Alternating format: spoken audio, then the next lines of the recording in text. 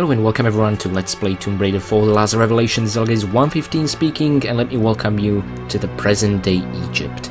Actually 15 years have passed since Lara and Von Croy went their separate ways after he, um, I guess successfully retrieved the iris or the iris retrieved him, better to put it. And the crazy thing is that by Egypt present day, I mean 1999, the day the game was released, at the turn of the millennium, which at the time of me publishing and uploading this video is somewhere between 21 and 22 years. That's absolutely insane to think about, and I think, you know, it makes some of us feel old, but at the same time makes us appreciate the graphics. It really does. Now, I want to talk so much about what happened in the uh, cutscene before and in, in the sort of cool FMV when Lara and um, her trusty guide were approaching this cavern, this uh, Tomb of Seth. Uh, however, I do need to get on. I babble too much, and I would like you. I would like to basically show you the new stuff, new gadgets we have, since Lara is a grown-up and has license to use them. So, first of all, let me open up the inventory screen, and there they are, the trusty pistols. You might have already noticed them on Lara's holster. What's really cool about them is that they look a bit different. They actually look like Desert Eagles, like hand cannons, and this would be in accordance with some of the promotional artworks used for Tomb Raider 4, where Lara is literally just holding a hand cannon in her hand. Now, dual wielding hand cannons is very much unrealistic. Those things just pack a punch, are usually used for just delivering a few really powerful shots, then they usually break, unless they break your arm. Nevertheless, this is Lara we are talking about, but I would still like to prefer she's actually using her trusty 9mm guns, you know? And I also appreciate the effort that the developers went into to actually show, look, they are using ammunition, it just happens to be unlimited, and, you know, they used a couple of 3D objects, all very cute. Now, furthermore, we have the binoculars, and I'm so excited about these, the first time they're in the franchise, and I'm gonna show you how to use them straight away, don't worry, we are gonna get to the gun soon. So, uh, if I'm not mistaken, there is no hotkey for them. Uh, let me actually make a quick experiment. Number one should be, yep, the pistols. Number two will be shotgun. Number three will be Uzis. I can't quite remember the other few weapons, what their hotkeys are. There are hotkeys for health packs, but yeah, there is currently no ho uh, hotkey for binoculars, which is a shame. So you also can't be moving when trying to binoculars. See, nothing happened. You have to be completely still. There we go. So you get this kind of cool uh, edge, edges of the screen, and they are, you know, not just to perhaps give you a bit more immersion. You can actually press the action key, and they will illuminate dark areas. See, we can't really see the corner on the left, but now we can. And I can't turn any more left because of Lara's positioning, so you actually have to turn her manually. You can't do 360 with uh, the binoculars. Still, they're great in case you run out of flares or don't want to just start firing your guns to illuminate an area. And they actually happen to do what binoculars are supposed to do. They allow you to zoom in. Ah, this is so amazing, and look how far the light can be cast. This is truly wonderful. You can also zoom out using the flare hotkey. However, I don't know why this does not work for me on this particular PC version on my particular laptop. I'm pressing the flare hotkey and nothing happens, I can't zoom out. Now the way you can put the binoculars away is by pressing the draw holster key, like this, in my case spacebar, and the same key is used for drawing your last used weapon. In this case it can only be pistols, there we see. Very satisfying sound. It didn't change since Tomb Raider 3. And the same can go for shooting mechanics. Now, let's just take a look at the statistics screen here. The ammo used is still zero, coming from previous levels. However, if you press action key with your weapons uh, withdrawn, Lara will fire. And now, if we look at the statistics screen, it shows ammo used 2. Even though we didn't technically run out of any ammunition, it still keeps a counter. That is very handy for my statistics video. They pretty much look the same like in previous games, and they make the exactly same sound as they did in Tomb Raider 3 when firing. So, uh, with that said, what you can actually do with guns, you know, Lara doesn't seem to be, you know, aiming, not even at her useful guide over there.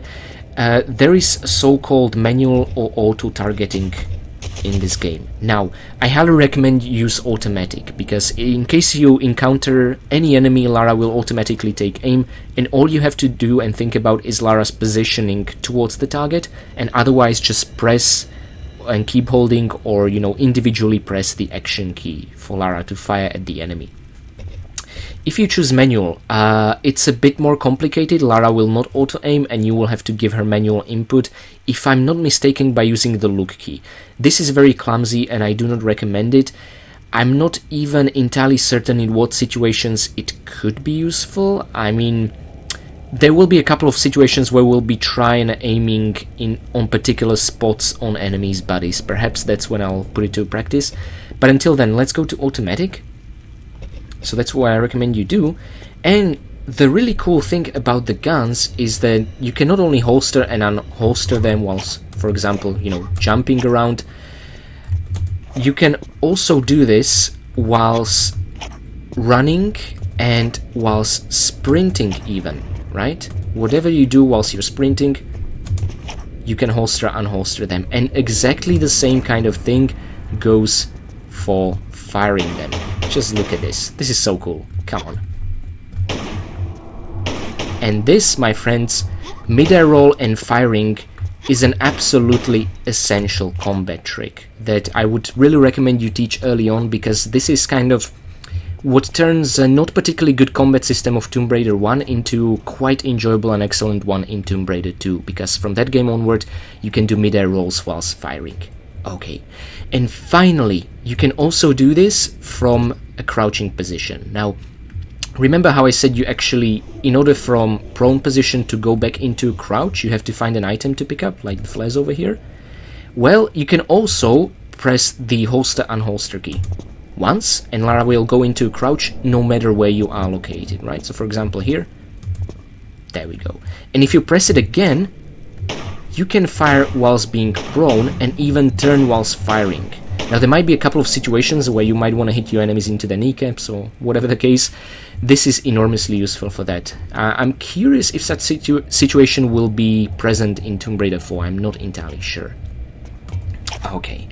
And for the final part, I already mentioned them, but there they are. We are starting in our inventory with three flares. Now, the really interesting thing is that if you pick up just one package of flares, like over here, uh, each contains 12 flares, so now we have overall 15. I'm not sure why we are starting with 3, but there you go. I think something similar happened in previous Tomb Raiders. We started like out with like uh, two shotgun shells and two flares, or some absolutely strange, bizarre quantity like that.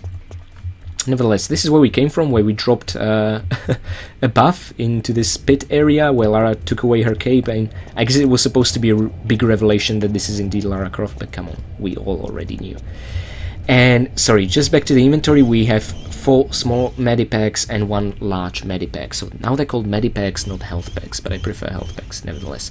Uh, mind you, these are carried over from the two tutorial levels we just finished, so the number of goodies you pick up there definitely has impact for the rest of the game. Your inventory does not get reset, Lara keeps them handy in a, some dusty locker somewhere for 15 years and then recovers them on her way to Egypt because why not? So that's it. And uh, yeah, let, let me actually talk uh, about this guy over here. So on one of the walkthroughs I found online, the Tomb Raider's Traveler's Guide, I found that his name is apparently supposed to be Ahmed. I'm not really sure where the information is coming from, but it's a common name, so, you know, even if it's not his real name, we can use it as a placeholder, so I'm gonna refer to him as it's Ahmed or Ahmed. I think the there is uh, supposed to be pronounced. Sorry if I'm doing it wrongly. And um, this guy will be quite essential to this level. He will trigger traps, open doors for us, light torches, and even fight enemies. Yes, but uh, you know how I feel about kills. I want us to get them, you know? So, unlike in the situation with Bors and Von Croy and his knife, this time we are able to defend ourselves, so I want to snag the kills. And what we picked up there in, you know, after the flash, like the third pickup in since the game really started, is a shotgun it's similar to the jungle level in Tomb Raider 3, right? Where the shotgun is pretty much right underneath your feet at the very beginning before the first slide. So each new weapon you pick up, just like in previous games, comes preloaded with one ammunition pack. However, you might see two ammunition packs displayed here, right? So, uh, one shotgun ammunition pack contains six shotgun shells, not two like in previous games. It's very generous, and the shotgun is not really weaker, which is great. Uh, the game is overall incredibly generous with shotgun shells. It can pretty much become our main weapon to use, and I don't think we're gonna run out anytime soon. Nevertheless, let me explain the ammunition mechanics. So with pistols, we have no ammunition choice. It's, you know, pre-selected for us. It's still displayed there just as a sort of extra immersion and detail. But with shotgun, you can actually scroll down, choose ammo, and choose the wide shot ammo, of which we, well, currently possess zero. Now, wide shot ammunition is much more rare than shotgun ammunition. However, if you'd ask me why should you ever use wide shot ammunition, I would not be able to answer, and this frustrates me to no end. Later on, once we'll have a decent amount of wide shot ammunition and normal ammunition, I will do some testing and some comparison of what the effects of each are, but right now, at this point, even searching online, I was not able to find any information what wide shot actually does. There is a theory that it scatters the pellets more, which um, I'm not really sure why you'd want that, why it's a good thing, why is it in any shape or form gonna kill your enemies earlier than normal shotgun ammunition. Wasn't even sure this game's engine is capable of that, so as I said before, there might be some, well, there are some enemies where you need to hit particular places on their body. Maybe wide shot is a bit more useful for that because it doesn't matter how much damage you deal as long as you hit that part. So it might be useful for increasing our chances of hitting something. But otherwise, you know, there really is no point that I'm aware of. However, I will do some thorough testing as soon as we reach a more advanced stage at this game, and I'll definitely let you know. For, uh, for now, let's rejoice that we have the shotgun with a really, really lovely sound, the same as in Tomb Raider 3, if I'm not mistaken, and I'm gonna use it shortly. Don't worry, I'm not gonna be stingy with ammunition in these games. I never am, come on. Okay, so, and mind you, the hotkey for shotgun is number 2, and the first time you draw it and put it back, Lara will always carry it on her back. So, it really feels nice to be equipped like that. Now, Ahmed is waiting for us there, so let's make a few steps, and so will he. And you might have already seen it, those keen-eyed amongst you, uh, another ammunition box of shotgun shells. So as I said, one box gives us 6 shots. So we had 6, by now we should have 12. Exactly and this is how you can keep track of ammunition. Now, uh, funny thing, let me just check the ammo used, 36. This shows us how many shots we fired with the pistols. And I'm going to say same comparison once we use shotgun for the first time. But first of all, there is another inconspicuous bit over here with a red scorpion. Now, don't worry, even though these guys look really creepy and poisonous, they are not. They deal absolutely minimal damage. They're pretty much the red's equivalent of previous Tomb Raiders. Nothing to be worried about too much and you get to pick up a large health pack, always good. However, there are some, uh, they're pretty much identical looking, however black colored scorpions later on in the game, and those will be poisonous, and I'll tell you more about poison once we'll reach that point. If you're interested in all the kills, even though the game doesn't track them, but, well, I will, you know, feel free to enter these pits, and the moment you do, they will spawn. It's supposed to be a trap, or a punishment for dropping in, I guess, but you know how bloodthirsty I am, for me it's a reward. Now, I would recommend you get a shotgun ready, but first of all, let's let Ahmed get a bit of a head start, because an enemy will spawn as soon as we cross this, this threshold, and I don't want Ahmed to land the kill, I want Lara to do it. Okay, he's quite deadly with his torch.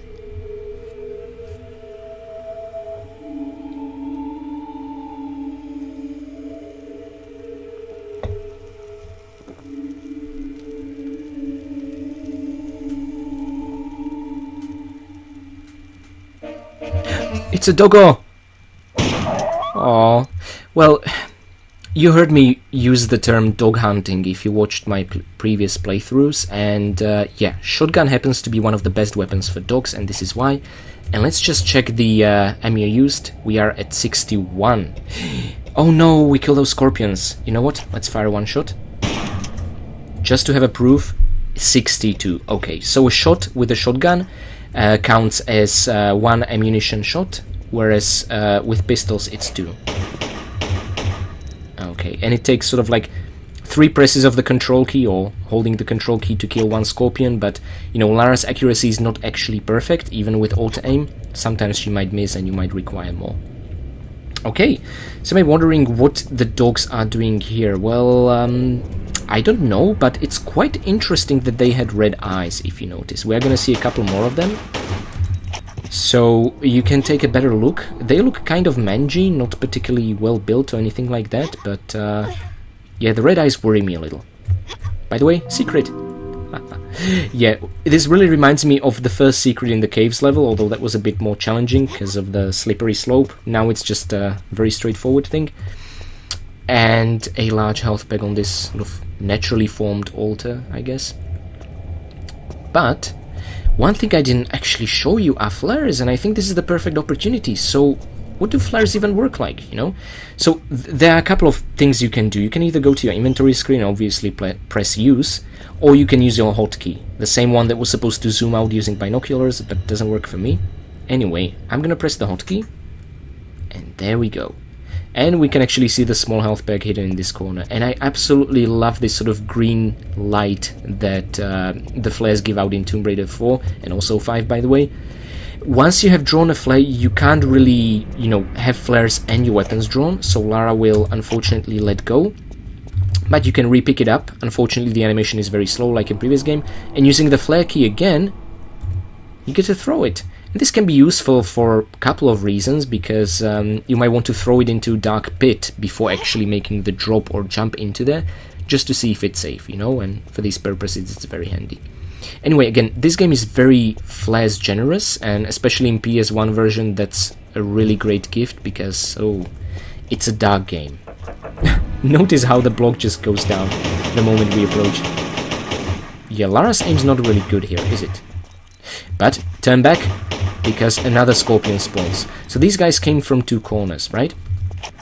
And again, let's just use the flare hotkey and be awarded by more flares. Oh, I love this so much. Okay, the green light, I don't know, there's something very soothing about it. Almost feels like some sort of healing mist, you know, just just being surrounded by the green light should restore our health Well, technically poison us, I guess. okay, so couple of things in this beautiful um, ancient Egyptian representation of, of, a starry sky. Uh, we need to lift this door. For this, we need to trigger sand mechanism, and part of the mechanism is uh, triggered in a small little hole over here. Lara almost threw flare into that. Cool. Now, so you might be wondering, okay, so this is some new mechanic, right? We go to hole, we press the control key, but nothing happens. See, this is really vicious. Uh, the surface underneath this one is uneven, therefore Lara cannot interact with it. It's just there to create a sense of symmetry in the room, I guess. But if you find one with an even surface and press the action key, Lara will reach in and pull something out, either a mechanism, some reward, or sometimes the so-called infamous death beetles, okay? This time we're awarded with large health back, and I'm kind of amazed. I'd be afraid to put my arm in there thinking I might not, you know, pull it out ever again. and yeah, so don't do it uh, to this hole where the sort of block disappeared, shrunk into uh, into the ceiling, because you will trigger a mechanism that will allow you to proceed, but make uh, retrieving the second secret of the level impossible. So instead, let's go into this beautifully decorated room. I mean, literally, I love this level so much. Every room, every encounter, every trip is absolutely gorgeous. And we want to get into the other side, we need more sand. But if you do drop down here, voila, there it is, a small health pack. And in the small corner over there, you will see some shotgun ammunition. So, don't dawdle, however, pick up your guns because scorpions are here. Okay. Nicely done, Lara. Thank you very much for cooperating. So really, this will be missable because once you trigger the mechanism above, um, the sand will fill the room and you will not be able to get it. And sorry, I just went to see adult Lara doing her handstand. Nice. Now, I know it's possible to sprint and cut corners here, it's fairly tricky. Ah, yes. Whew. So rewarding when that works out. Great stuff. So this is the one we left. Uh, and see what I mean? It starts filling up with sand. Now, if you hurry, you can actually see something really cool. Something that, oops, impresses me on a technical level. Okay, see, it works like an elevator. And Lara can actually... see, uh, I, I don't know why I find this so fascinating, but I, I was not aware that the engine can pull this off, you know, such instantaneous change in verticality. And Lara interacting with her environment, either automatically overcoming the step or you needing to press the control key. I don't know why, but I find that absolutely fascinating. Anyway, two altars here, Lara can approach and pick up a goodie with a new animation to Tomb Raider 4, small health pack and a key item, and a beautiful sand mechanism opening the door to the next room. First of all, the key item itself is an eyepiece. So as the name suggests, it's a piece. We need to find another one, right?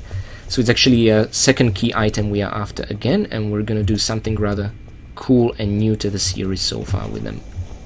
Ah, I love this. And it actually goes through the grate into the room beneath us. This is wonderful. But the door behind us closes, so if you missed any goodies there, uh, you will not be able to retrieve them. The worst case scenario is you missed a shotgun. Don't worry, you'll get another chance to get it in this level. Have no fear. Oh, Ahmed is moving on. Okay, let's not dawdle, because he's gonna do something very important. Stay here, don't move. He will actually trigger the mechanism with his torch so you can cross safely, and I tried stepping on every one of these tiles, making the jump to these tiles. It doesn't matter where you go, even though there are a couple of tiles with holes in them. It suggests these might be the triggers. Everything is a trigger of this mechanism, so let Ahmed do his thing, and you can then safely pick this up.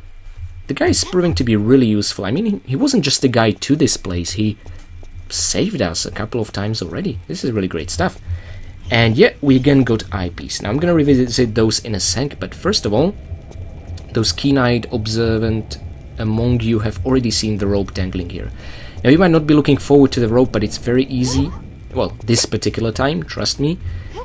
You only need to step under it, align yourself, start pressing the sprint key and jump at the first opportunity. It will be just enough, well actually just enough, a lot uh, Lara will cover a lot of space with that one hop, so don't really even need to spend real time swinging, as long as you use the jump key, not, the not releasing the control key to get across. And we reach the secret. Don't climb up just yet, wait for it. See that? That's evil. So there is this rolling um, cylinder going across the room. Okay, roll Lara, roll. Actually, maybe we can safely pick this up. Yes, wonderful. And see it goes up and down up and down around this room. Now we picked up a small health pack. That's not all there is to the secret. We don't need to go back. We can of course wait for it again. Okay now climb up. And I'm gonna quickly do a roll and just jump and hold the control key this is where you want to go without the cylinder hitting you in the head ideally here you can actually climb up relatively safely because the ceiling that it will go across is relatively high another pickup more flares very good Wait for it. Okay, go down. And I advise you to make one step forward and a standing jump, and that should be it. You take very small amount of damage, but ooh, that was close. we avoided the cylinder completely, which is always good. Our dog hunting continues, and yes, these poor little guys really have red eyes. But see, behind the corner, two more of them are resting. And again, I'm gonna show you why shotgun is such an awesome weapon. Haha. See, not even a scratch on us. It's really, really, really so much fun to kill dogs in Tomb Raider games, which worries me. I don't think it should be fun to kill dogs, but... Well, it's in self-defense. Anywho, let's lie down and ooh, hold that action key. Now, do you see that? Yes. Those... Ah, Lara, please don't. Those are Uzis on the right, and on the left a pit with scorpions. Do you see the fire? That's actually don't worry, you're not gonna be set on fire. That's Ahmed, our faithful guide, beneath the... Oh no, he's killing the scorpions! Oh my god, he killed both scorpions! How did he... Ah... Guys, I will see you back at this spot. Those are supposed to be my kills. Uh, I mean, Lara's. Okay, Time for revenge. Without any thinking, let's drop into the pit before Ahmed will have his way with them. Or with us. I mean, if he's gonna stick the torch in here, shouldn't that... Okay, are they still moving? Oh, we did it. Oh, thank goodness. I'm not gonna let you steal our kills, Ahmed, no matter how hard you try. But, you know, I have to say, good job with the torch. Seriously, he's so loyal, almost to a fault. Anyway, our prize here, the Uzi. Well, huh. See, here's the the damnedest thing. Lara picked up one Uzi, and yet when you equip it, she has both of them, and they look completely different. This is the same model of Uzis as in Tomb Raider 3. Uh, even the sound is the same, however, I'm not gonna fire them. Well, okay, I'm gonna fire once, just to give you an idea and also to check the uh, ammo fired count. So we have used 164 and it should bring us to 66. Yeah, we have used two pieces of ammunition. There we go. So it's the same thing as pistols, however, the rate of fire is much better, therefore the DPS is much better. But still, it looks completely different. Huh. Interesting. Anyway, um, you remember what I said about there being plentiful shotgun shells, that's true, but when it comes to Uzi, you might also be used to generosity, and not so much in Tomb Raider 4, surprisingly enough. It will be quite the challenge to even get a uh, thousand bullets at any one point, so uh, yeah, mm, best to save them for much later levels. Now this corridor over here should look very familiar. Oops. And, okay, there you are. So, oh, so you can make it through closed doors. You sneaky bastard. Okay, nicely done. I'm still amazed he reached that grate and tried to burn those scorpions. I guess they must have been somewhere in the tunnel behind this door where we originally went through. ah, that's just too funny. Okay, but back into this room. So basically this is the area with the rope, how we entered uh, secret number 3. Quite impressive secret, I do have to say. Now, we have picked up two eyepieces, but what we need is I. Now, strangely enough, if you press control here, no inventory opens up. That should already give you a hint something is wrong. However, Lara doesn't say no quite yet. However, if you try to manually put piece here or that one, no. Same thing.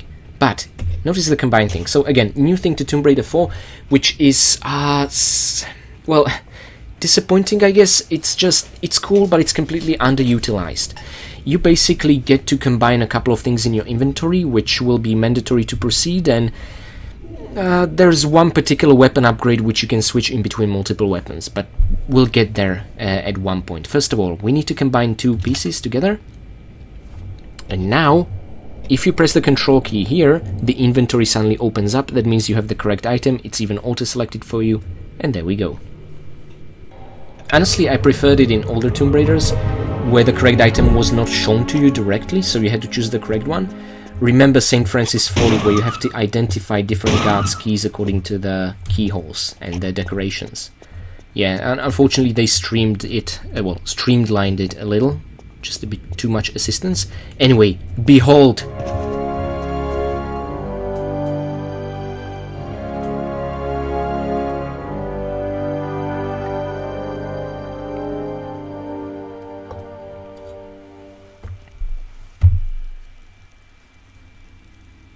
Good thing there was the safety rail. Lara would probably plummet through even during the cutscene. Now notice Ahmed. He's running to the alcove over there, and we will follow him very shortly. He knows where to go. He's not just a guy. He knows this place through and through. I wonder if he's a Seth worshipper. Hmm. Well, later about that. First of all, let's bask in the magnificence of this Sphinx's head. Well, I shouldn't refer to it as the Sphinx because it's just the head without the rest of the body, right? So could be just representing some pharaoh, but uh, or nobleman. But uh, yeah, I think this is a good opportunity to use the binoculars because I want to tell you what's going on. Our objective in this level, strangely enough, is to enter the tomb of Seth within the Sphinx's mouth, right? Uh, in order to do that, we need to get rid of the large pile of sand over here. To get rid of the large pile of sand over here, we need to trigger a mechanism in the tunnels to our left at the very bottom of this huge cavern, right? In order to trigger the mechanism there, we need to Sands of Time, well, Timeless Sands actually, the opposite of Sands of Time, a unique uh, pickup that we will find beneath us, directly beneath us. Secondly, in the corner over there, there's a lever which triggers a mechanism in the Sphinx's uh, right ear, and in the opposite corner is another secret with goodies directly. So, the Sphinx's head is used to exit the level and also access two secrets which, if I'm not mistaken, are the only secrets we need. Yeah, we found three, we need two more, exactly. Now, uh, this is a huge structure, and it looks way more confusing than it actually is. Now, uh, if you look to the right, the opposite of where Ahmed went, uh, you will see just fake entrance. There literally is nothing there. You can't really interact with the hieroglyphics in any way. And if you do want to, you know, do a bit of exploration what the Sphinx looks like covered by sand, you can go down safely and use a couple of platforms to do that. Just please mind the spikes over here, yeah? There is always a safer way to get down. Uh, I'm not going to do that because it would be, uh, well, it would waste our time a little. We will get there eventually via uh, a staircase. So, first of all, mind the goodies on the sides here. Another Uzi pickup, we had I think 28, now we are at 58. So 30 per each pickup, the same thing the Uzis came preloaded with. Just like shotgun, it's one ammo pickup equivalent and a small health bag over here. And without further ado, let's uh, follow Ahmed and we are gonna enter this sort of spiral staircase. Mind you, the grate over here will open once we wrap up our business here, so we can go down and you can also use the same spiral staircase to go up should you so desire.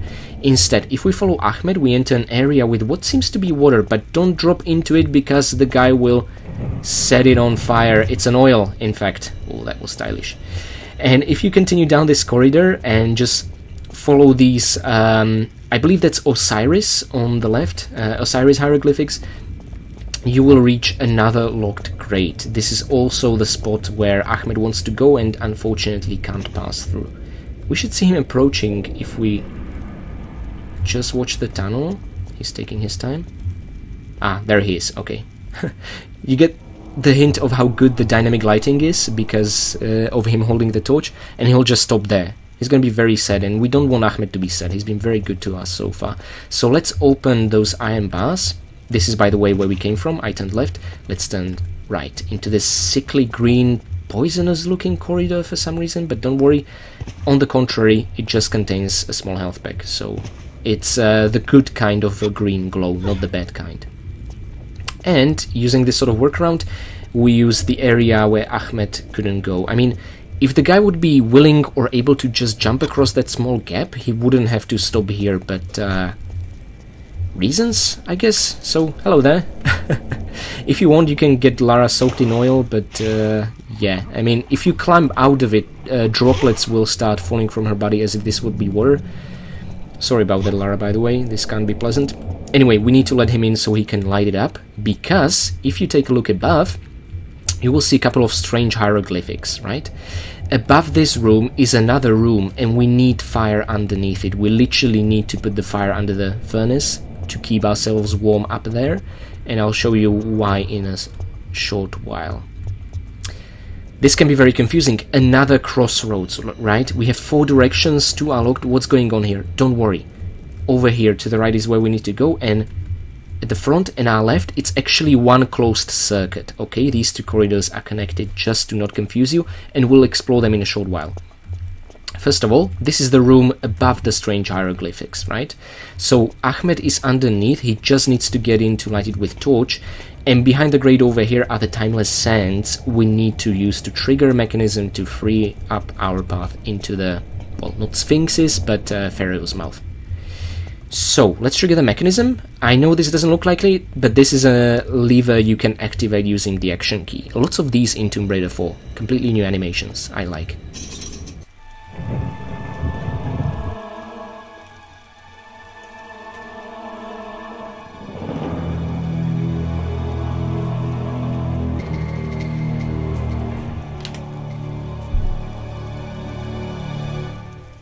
We go. See, fire is lit up and you could already see a gap in the ceiling. These are the gaps, yeah? So why are only some of these hieroglyphics highlighted? By the way, I love the molten lava underneath. I mean, that's not what burning oil should look like, but it's so cool. Wow. It's uh, it's really simple. Something that me and my brother never figured out back in our day without, you know, dark ages without internet connection. We didn't know what to do in this room because uh, we tried jumping on all these tiles and the door still didn't open. So here, here's the really tricky thing. You have to jump on all these tiles, but only on these tiles only and within a certain time limit. If you complete all these three conditions, the door on the other side will open. If you should fail for whatever reason, uh, you need to reset it and I'm going to show you how. So let's say you step here, see the torch over there, it's burning, that means progress. If you try and go here, the second one is lit. If you step on anything else, the torches are off. Okay, so this means you need to manually reset the mechanism. And by the way, don't linger on these tiles because one after another, they will be set on fire. Ooh, see that? I already saw some smoke there. Very dangerous, very nasty. I don't know how this works. I mean, there need to be consistent pillars of fire all the way from the ceiling of the room beneath us, which makes no sense, but it's pretty damn cool so we're gonna forgive the game. So, uh, pulling this lever again will not help. Actually, Lara will even refuse to do so, strangely enough. If I remember correctly, uh, Lara usually can pull these infinite number of times in Tomb Raider 4. This one in particular not for whatever reason, but you might notice that this was the path behind us. This is how we entered, it closed, yet the path to the right open now. So we are entering that um, so-called closed circuit. Uh, I'm not only doing this, you know, out of the goodness of my heart to show you how to reset the mechanism should you do something wrongly. Like this. And you can already see uh, hear a great opening sound, but also in case you missed the shotgun the first time, you can get it here a second time. However, if you already have a shotgun, let me demonstrate 11 shots, we will now be at 17. See? So if you already pick up a weapon you already own, uh, you will receive one ammunition pack of said weapon. And I really like how they implemented it in Tomb Raider 4 because you still see the actual weapon. So you just have this extra bit of information that you know if you would have missed it before, this is where you would have rediscovered it. Uh, this is really something that wasn't the case in previous Tomb Raiders. It would instantaneously be replaced by an ammunition pack, and you know, especially for us walkthrough uh, recorders or uh, you know writers, it's very frustrating to have to test things without certain weapon just to be absolutely sure where it can be repicked up for that extra information. Anywho, we reset it. Now, uh, one thing I would like to advise: be very careful about. Um, even if you think you are making a precision jump, you must be certain Lara is not covering small pocket of air above the wrong tile because it will trigger and we will need to re-reset it. So what I will advise you to do is let's just walk on this one until the torch is lit. Now let's make a diagonal standing jump. Let's make small step back and a jump forward to the side. Maybe step forward is warranted here and Forward, Lara. Well done. And let's get out of here because I'm worried the eye will set itself on fire. I mean, I'm not sure. I don't think the eye actually does, but I don't want to risk it. I think it doesn't just to ensure you can safely return to the room or whatever the reason is. Even though by now, if you're standing here, you never need to return to the room because you can just pick up the Timeless Sands and the grate behind you opens. And there they are. I don't know what it is, but I love checking key items in my inventory. They're just so gorgeous. Something uh, shiny, shinier about them in Tomb Raider 4 and 5 engine. I really like that. Okay, um, now this might be a bit of a surprise, but if you continue down the stairs here, you are in front of uh, the head, right? Covered in sand. So this is why I didn't want to descend manually, because we will find ourselves here anyway. Now you get a better look at the sort of spiky areas over here. And just like before on that side, there is another fake entrance here that doesn't really mean or do anything, it just confuses the living hell out of me. But the one over here is not fake at all. This is the round staircase that uh, Ahmed was originally running into.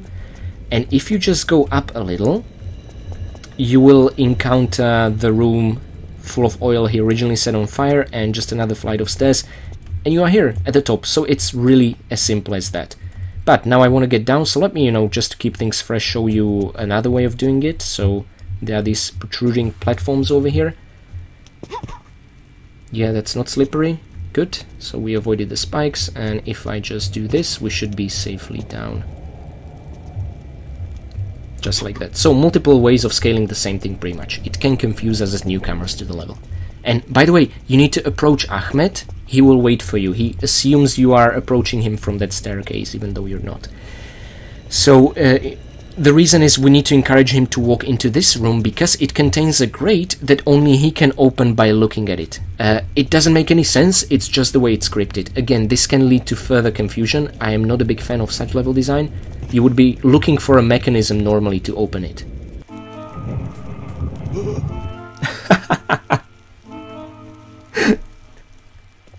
that face. I mean, you have to give it to him. He's only a guide, and he was fairly brave so far. And it actually makes sense he's using that staircase because it leads all the way up into the entrance from uh, well to the cavern with Sphinx's head, and that leads to the closed door he already passed by. So yeah, seeing he has the ability to pass through closed door, I think that choice makes sense for him. Okay, but that face. it was worth it. So clearly there is something written on the hieroglyphics around this door. Let's pretend they're not generic and used everywhere, right? That scared him. And um, I think it leads to the prophecy of uh, the priest Semerkhet, the priest of Horus, about uh, Seth being imprisoned here. And well, if you venture in here and touch things you shouldn't, you can release Seth and bring about pretty much the end of the world. Apparently, kind of makes you wonder what what did Seth uh, go through to be that way. You know, I always tend to sympathize with the bad guys. I always look at the psychology and think about, well, surely there has to be a reason why you like this unless there's an explanation you've been created, born, or always have been just pure evil and chaos, which I find lazy, but there we go. Anyway, um, do you see the grades above? Again, we are going to use the same trick as before. We are going to fill this room with sand by placing the timeless sands into the statue's hands. I love this so much. I know the change was instantaneous, but the illusion is still there and it's absolutely gorgeous. And this is just beneath the Sphinx's head. Sorry, uh, the head, just head, no Sphinx, just the head. And I have to say, it looks kind of hilarious with that mouth open. You know what? I'm probably gonna make it to the top of the Sphinx's head just to take a look at what it looks like, you know, without all that sand. But first of all, not just sand fell through, also one red scorpion. If I'm not mistaken, the last one in this level. There we go, that's taken care of. So let's get out of here. Oh, oh. Okay, thank you, Lara. And yeah, as I was saying, uh, makes me wonder what's up with deities and villains and creatures like Seth, just pure and utter evil, apparently. And I know that's an absolute simplification. I know there's a lot of jealousy involved to his brother Osiris. Unfortunately, that's not quite the depth to which Tomb Raider 4 goes. Now, we can go into the fire room like this, but no, we want to get to the top to get a better view of the Sphinx's head, so let's use the same staircase Ahmed did to run away. I mean, I'm kind of relieved he's not here because he's not gonna kill any more kills away from us. So, yeah, I, I can't really complain about it too much. So, let's see, what do you really look like? Oh. okay, um... Yeah, I was about to say it looks much better than the one in Tomb Raider 3 in the um, London Museum of Lud's Gate, but I don't think that mouth should ever have been opened. I mean, oh, it's just hilarious. Anyway, crawling into that mouth, and I said crawling because it's, you know, tight, you actually have to press the crawl key, uh, ends the level. Instead, we are going to pick up the last two secrets of the level. If you remember, one is uh, the head's right ear and the other in the corner over there, but we need to reach even that corner to open the ear. So, again, let me... Um, yeah, I'm looking for a different way to get uh, back down just to keep things fresh. So how about this? Am I gonna regret this horribly? Possibly, but that's all good fun, no? Ah, this is not the slippery one, cool. Even if you would know that you are dropping onto the slippery one, by the way, just keep holding the jump key and Lara will literally jump the moment her feet brush up against the surface under her. So it's kind of a safety mechanism you can put in place when you're not sure if the surface beneath you is slippery or not. Okay, and now, wow, that's really inviting. Um, I'd be actually terrified. What if the mouth closes as I'm halfway through and just crushes my spine or something? Like, the, these are the thoughts I would always have when interacting with unknown mechanisms. I don't know how Lara does that, really. Okay. So th yeah, this does genuinely look like a ladder. I appreciate that, that it's not just, you know, lazy invisible ladder, but a genuine texture which looks climbable. And this is what will actually get us into the very top corner. And then we need to make probably the trickiest jump so far, and it's fairly likely I might even die here. We'll see. Okay. By the way, notice how this is the same lever mechanism like in Cambodia, but the ornaments are different and they're absolutely gorgeous. I love them so much. Egyptian aesthetics are I, think my favorite in the whole world. There's something about being colorful, but not overdoing it. You know what I mean? Okay, and I remember how blue and yellow, or in this case gold, was my most favorite color combination when I was a kid. Still probably is. Okay, so make sure you do standing jump and after, not before, you press the left arrow key, which means once Lara is already jumping, she will begin tilting, right? If you were to hold it before jumping, she would just do a side flip. You don't want that. So even the order in which you press keys is very, very important. But sorry, this is not a tutorial. By now you're definitely seasoned and you know what you're doing. Uh, yeah, this is a very awkward angle jump and we don't want to overdo it because we'll end up on the slippery surface. So let me tilt Lara like this. Maybe even make another step back, side step. Okay, I think she should definitely be able to do this with a standing jump, but also remember after you press the jump forward, start tilting to the left like this. Who just made it, barely. Okay, so there we go. Uh, let me light up another flare here, why not? I want you to see what we're picking up. Even though, you know, I appreciate uh, the mechanic of these items being visible in the corner of the screen when picking them up is back. Okay, and another dark corner. And there's something so satisfying about sliding down its um, headdress, so I I want to do this. Yeah, man. It feels so wrong, it just feels great, you know? okay, now, don't forget, we are still at 12 secrets. There's the 13th one, or 5th one in this level we need to find. There's a reason why we pulled that lever. Oh, pushed, actually. She's pushing them, not pulling them. The ear opening over here. Yeah, that was a great hair, if you remember.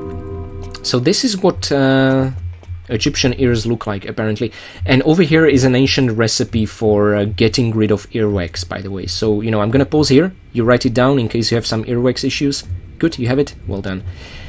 And with that said, we actually even picked up our first box of um, the wide shot shotgun ammunition. So again, as I promised, I'm gonna experiment with this a bit later on uh, to see what it really does, you have to go to choose ammo, select your ammo, press enter, and you can just exit or even press equip. Unfortunately, you don't really see ammunition counter on the screen anywhere when using a weapon. This is a major oversight. They finally managed to show us the items we are picking up in the interface, but not the ammunition this time. I don't know what's going on. It's very annoying. Uh, nevertheless, I'm gonna choose the normal one for now, and once we're gonna have a bit more wide shot ammunition, about 20 shots at least, then I'm gonna do my experiment and, well, let you know the results, really. Now, with that in mind, let's uh, crawl inside the mouth. And before we make the final slide down its throat, which seems oddly inappropriate, I'm just again gonna take a quick peek at the statistic screen. So, there we go, the Tomb of Seth. So our distance travel keeps increasing enormously, and finally we have some ammunition use statistics because we encountered, well, 20 enemies in fact, which is quite quite a number for the first level. We have used no health packs, we have found all 5 secrets, and we have collected all 30 items. This of course includes the different supplies like health packs, flares, uh, the different weapons, the ammunition for said weapons, and the different key items. Uh, mind you, I don't consider the Eye of Horus, which resulted as a combination of the two pieces of the eye as a third key item. I consider each individual piece one key item and the Timeless Sand. So whatever we get out of combining items, I don't actually consider an extra item into statistic because later on in the game it's something we'll be able to do infinite amount of times, so it, you know, wouldn't be really appropriate. So, thank you very much for sticking around. I hope you enjoyed the first level as much as I did. Uh, no more Ahmed to steal our kills or set of traps for us, so it's just gonna get more dangerous from this point on. And as promised, let me just make a save here so we have something at the end of each level, and I will see you guys next time.